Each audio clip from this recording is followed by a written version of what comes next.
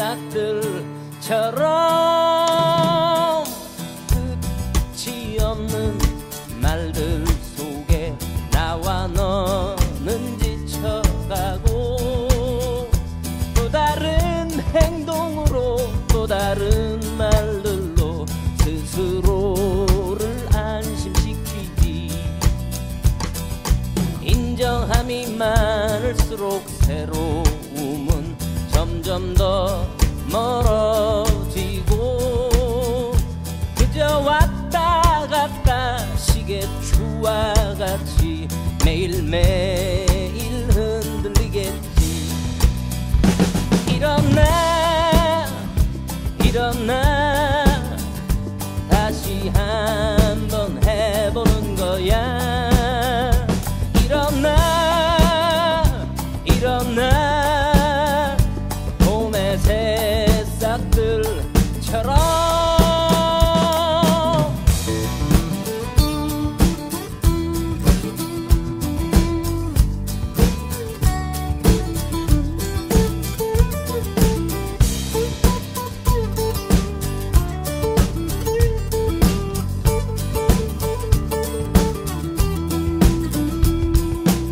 가볍게 산다는 건 결국은 스스로